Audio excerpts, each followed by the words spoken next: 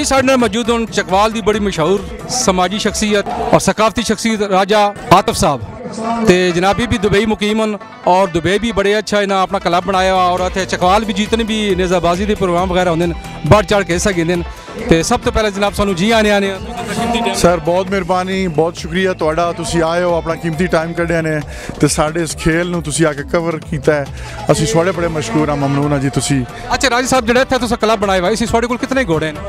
ਜੀ ਮਾਸ਼ਾਅੱਲਾ ਮੇਰਾ ਕਲੱਬ ਪੀਰ ਆਲਮ ਸ਼ਾਹ ਜੀ ਚਕਵਾਲ ਦਾ ਸਭ ਤੋਂ ਵੱਡਾ ਕਲੱਬ ਹੈ ਜੀ। ਮੇਰੇ ਕੋਲ ਘੋੜੇ ਘੋੜੀਆਂ ਮਿਲਾ ਕੇ 60 ਘੋੜੇ ਘੋੜੀਆਂ ਨੇ ਜੀ। ਤੇ ਅਸੀਂ ਦੋ ਟੀਮਾਂ ਹਰ ਟਾਈਮ ਪਾਰਟਿਸਿਪੇਟ ਪੇ ਕਰਦੇ ਹਾਂ ਜੀ। ਤੇ ਅੱਜ ਮੈਂ ਆਪ ਪਹਿਲੀ ਦਫਾ ਖੁਦ ਦੌੜਿਆ। ਮੈਂ ਆਪ ਪਾਰਟਿਸਿਪੇਟ ਕੀਤਾ ਹੈ ਜੀ। ਦੁਬਈ ਦੇ ਵਿੱਚ ਵੀ ਮੈਂ ਆਪ ਪੈ ਦੌੜ ਰਿਹਾ ਉੱਥੇ ਵੀ ਆਪਣਾ ਸੀ ਕਲੱਬ ਬਣਾਇਆ ਹੈ ਤੇ ਆਪਣੇ ਪਾਕਿਸਤਾਨ ਦਾ ਸੀ ਨਾਂ ਜੀ ਉੱਥੇ ਵੀ ਰੋਸ਼ਨ ਕਰ ਰਹੇ ਹਾਂ ਜੀ।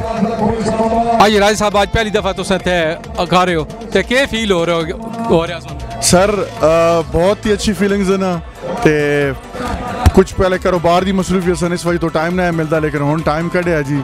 ਤੇ ਆਪ ਪਾਰਟਿਸਿਪੇਟ ਕੀਤਾ ਤੇ ਜ਼ਿਆਦਾ ਮਜ਼ਾ ਆਇਆ ਜੀ। ਜਨਾਬ ਬਹੁਤ ਸ਼ੁਕਰੀਆ ਜੀ ਬੜੀ ਮਿਹਰਬਾਨੀ ਜਨਾਬ ਤੁਸੀਂ ਸਾਨੂੰ ਟਾਈਮ ਦਿੱਤਾ ਜੀ। ਅੱਲਾਹ ਤਾਲਾ ਤੁਹਾਨੂੰ ਕਾਮਯਾਬ ਕਰੇ ਜੀ। ਜੈਸੇ ਰਹੋ ਮਿਹਰਬਾਨੀ। ਤੁਹਾਡੀ ਬਹੁਤ ਮਿਹਰਬਾਨੀ ਜੀ। ਤੁਸੀਂ ਆਏ ਹੋ ਸਾਡੇ ਖੇਡ ਨੂੰ ਤੁਸੀਂ ਪ੍ਰਮੋਟ ਕੀਤਾ ਹੈ।